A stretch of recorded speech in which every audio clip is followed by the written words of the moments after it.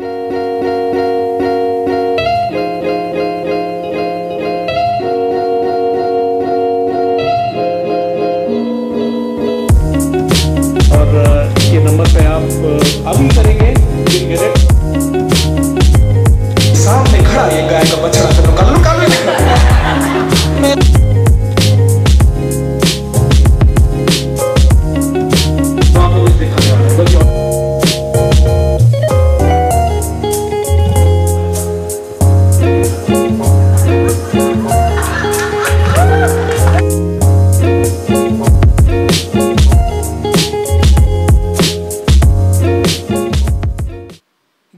Time है, लेकिन यहाँ पे तो पंखे चल रहे हैं, थोड़ा सा अच्छा है, लेकिन ऐसा है कोई जिसको पसीने आ रहे हो?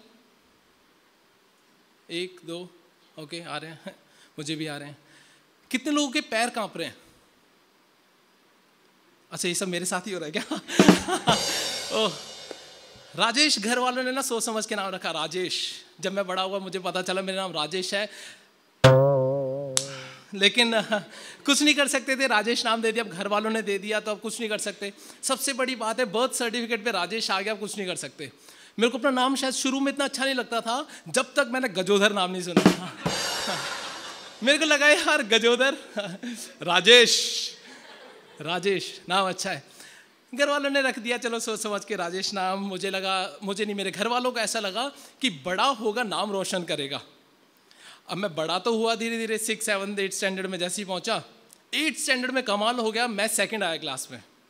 प्लीज़ या give me a okay thank you लेकिन एट के बाद कभी नहीं आया। एट के बाद कभी नहीं आया। टॉप फिफ्टीन में भी मेरे को मालूम नहीं है कि मैं कभी आया हूँगा तो घर वालों को लगा कि यार, इसने एक ही बार कुछ कमाल किया, उसके बाद तो कभी कुछ नहीं किया। लेकिन उनको लगा शायद स्कूल में स्पोर्ट्स टाइम पे शायद ये कुछ कर पाए। अब स्कूल में एक टाइम आया जहाँ पे स्पोर्ट्स होने वाले थे। Hundred metres and two hundred metres की रेस होने वाली थी और लॉन्ग जंप होने वाला था। वो दिन आया और चला गया। दो दिन बाद मेरे घर वालों को बुलाया गया स्कूल में और मैंने अपने घर वालों को बताया था, स्कूल में एक ऐसा इवेंट होने वाला है घर वाले आए और मैंने उनको कुछ नहीं बताया। घर वाले स्कूल पहुँचे, बाहर बैठे हैं, टीचर अंदर बैठे हैं, वेट कर रहे हैं कि जैसे ही वो बुलाएँगे, हम लोग अंदर चले जाएँगे। अब जैसे ही नंबर आया, मेरे घर वाले अंदर गए, मैं भी उनके साथ अंदर गया, बड़ा खुश होके। तो टीचर ने पूछा, आपको मालूम है कि आपको यहाँ पे क्यों बुलाया गया? अब घर वाले हाँ वो दो दिन पहले शायद कुछ हुआ था यहाँ पे स्पोर्ट्स का तो शायद कुछ इनाम मिलने के लिए शायद बुलाया होगा, मेरे को ऐसा लगा। कहते हैं, हम इनाम तो देते हैं, जो लोग स्पोर्ट्स में कुछ करके आते हैं। अब आपका लड़का स्कूल की दीवार टाप के भागेगा तो उसको क्या देंगे? स्कूल की दीवार कूद के भाग जाता है, बताइए इसके लिए हम इसको क्या करें? अब घर वाले बस वहीं पे गुस्सा। कितने लोग सरकारी स्कूल में पढ़े हैं? जो टैलेंट सरकारी स्कूल के बच्चों में ना, स्कूल से दीवार कूद के भागने का। वो शायद प्राइवेट स्कूल के बच्चों में इतना नहीं है। होगा, लेकिन इतना नहीं है। ठीक है? अब दुख की बात क्या थी? जब लोग मेरे से स्कूल का नाम पूछते थे, अब नाम भी बहुत बड़ा था। नाम बताओ स्कूल का। राजकीय उच्चतर माध्यमिक डैश डैश विद्यालय। अब यार वो इतना लंबा नाम है, मैं उनको नाम बताते बताते शुरू में तो अच्छा लगता था, फिर बाद में G V S S S government boys senior secondary school अब मेरे घर में जो ना दादाजी, सबके दादाजी अलग ही होते, मेरे भी अलग ही थे। अब वो दादाजी जो थे मंडे से सैटरडे कहीं जॉब करते थे, रात को भी वहीं रुकते थे संडे के लिए सिर्फ़ घर पे आते थे सैटरडे नाइट आते थे। अब संडे को एक बार वो घर पे हैं मैं क्रिकेट खेलने के लिए चला गया था, अगर आपको नहीं मालूम, आशीष नेहरा मेरे ताऊ जी का लड़का है, ठीक है? ओके मैं क्रिकेट खेल रहा था, उन दिनों में हम पाँच रुपए का मैच लगाते थे, पाँच रुपए बहुत बड़ी बात थी, वो जेब से पचास पैसे निकल जाए, भाई अमीर है तू तो ठीक है? ये 96 97 ओके तो हम लोग मैच खेलने के लिए चले गए। मैं मैच खेल रहा हूँ, इतने में पड़ोस में एक जो लड़का रहता है, वो भागता हुआ आया, भाई भाई, मैंने भाई, क्या हो गया? कहते दादाजी बुला रहे हैं। मैंने क्या हो गया? कहते, चलो, दादाजी बुला रहे हैं। अब दादाजी का काम आप मना नहीं कर सकते। नहीं तो ना पॉकेट मनी बंद हो जाती है। अब मैं भागता हुआ जल्दी से घर पे पहुँचा, हाफता हुआ घर पहुँचा, मैंने पूछा, मैं अपने दादाजी को बाबा बुलाता था। तो मैंने हाँ बाबा, बुलाया आपने? कहते हाँ। मैंने क्या काम है? अंदर से ग्लास पानी लेकर आ। अब जैसे ही मैं अंदर से पानी लेकर आया, मैंने उनको एक गिलास पानी दिया। मैंने हाँ जी, और जा खेल ले। अब मैंने उस लड़के को बोला, भाई, पानी तू नहीं पिला सकता था? मैं मैच छोड़ के आया हूँ। ये घर में हुआ। थोड़ी सी अलग ही फैमिली है। फिर से पढ़ाई पे आता हूँ, ठीक है? स्कूल के पार्ट में टेंथ तक पहुँचा टेंथ मैंने पास कर ली। अब आया इलेवंथ जो कि एक ऐसी स्टेज है जहाँ पे आपको तीन उंगलियों में से एक चुननी है। आर्ट्स कॉमर्स सॉरी सरकारी वाले आर्ट्स होते हैं प्राइवेट वाले humanities okay so arts commerce and science humanities वाले भी हैं क्या? ह्यूमन राइट्स ये अलग हो गया, ठीक है? तो इन तीनों में से एक चुनना था। अब दिक्कत की बात क्या थी? एसएसटी कभी पसंद नहीं आई। साइंस कभी समझ आ नहीं सकती थी। अब बची बस एक कॉमर्स वो मैंने ले ली। ले ली, अब सोचा चलो कुछ ना कुछ करूँगा। लेकिन घर वाले चाहते थे मेरी सरकारी नौकरी लगे। अब मेरे को उन दिनों में सरकारी नौकरी मालूम नहीं थी क्या क्या होती है।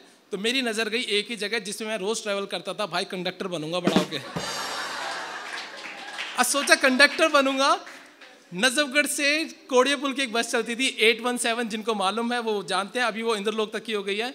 अब मैंने क्या किया, रोज ना मैं घर पे अकेले बैठ के, नजफगढ़ उत्तम नगर तिलक राजागढ़ मोती नगर। मैं ये प्रैक्टिस करता रहा। लेकिन एक टाइम आया, जब मैं सजे, सरकारी नौकरी की बात कर रहे प्राइवेट बस की थोड़ा बात कर रहे हैं। सरकारी में तो आराम से, आ गया। राजा टिकट ऐसे चलता है। लेकिन जैसे और बड़ा हुआ ना, फिर लगा, नहीं यार कंडक्टर वाली नौकरी अच्छी नहीं है।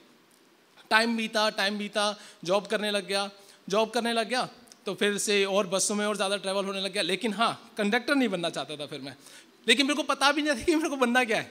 फाइनली कुछ लोगों को लगा, ये खाली आदमी है, ऐसे लोग यहाँ ज़रूरत है, मुझको रख लिया। थैंक यू एक तो ना मेरे को ये समझ में नहीं आता, जो आरटीवी के कंडक्टर और ड्राइवर्स होते हैं ना, इनका दिल पता नहीं कितनी बार टूटा होता है।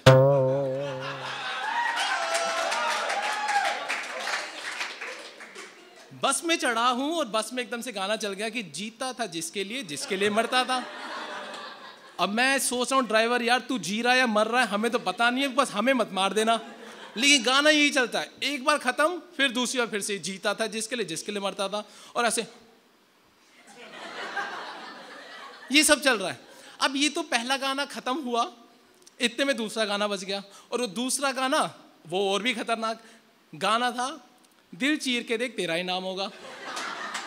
अब मैं ये सोच रहा हूँ यार अगर तेरा दिल चीर दिया तो तू तो, दिखेगा भी नहीं। और अगर तेरे को नाम लिखना ही है भाई पेपर पे लिख दे। मेड से लिखवा ले मैं लिख देता हूँ। दिल पे लिखना ज़रूरी है। दिल चीर के देख तेरा ही नाम होगा। ये क्या बात होती है?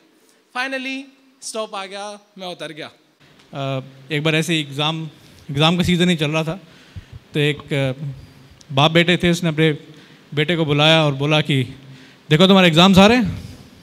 अरे हाँ पापा। तो मैं चाहता हूँ कि तुम्हारे 95 परसेंट आने चाहिए इस बार। तो बेटा कहता नहीं, पापा, मैं तो सोच रहा हूँ हंड्रेड परसेंट आएँगे इस बार। पापा उसको देखते हैं तुम्हें बात मज़ाक लगती है? बेटा कहता है, मज़ाक शुरू किसने किया था?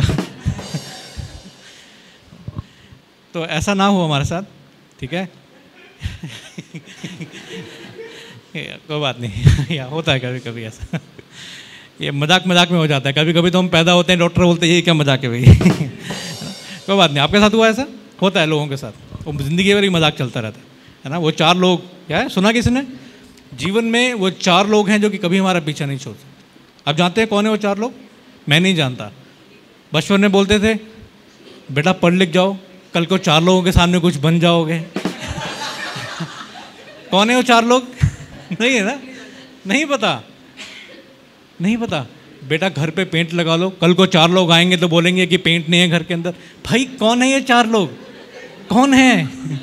मुझे नहीं मिले आज तक। और जब मर गया, जब पता लगा, वही चार थे जो उठा के लेके गए। ओ अच्छा ये अच्छा अच्छा ये वाले थे। यहाँ पे कुछ दिख रहा है? कुछ कॉफ़ी के मग्ज हैं, इसमें कॉफ़ी है।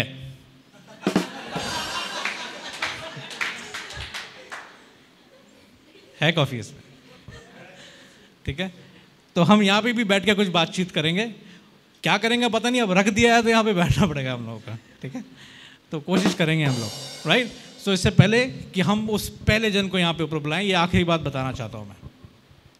एग्ज़ाम की बात हो रही थी ना? तो ऐसे ही एग्ज़ाम के टाइम पे रिज़ल्ट लेने जा रहा होता है। एग्ज़ाम ख़त्म रिज़ल्ट आ गया। पापा रिज़ल्ट लेने जा रहा हूँ। ठीक है? अगर तू फेल हुआ तो आज से मुझे पापा मत बुलाना। रिज़ल्ट लेके वापस आता है। पापा सामने खड़े क्या हुआ? यार, राजेश यार इस बार फिर से फेल हो यार।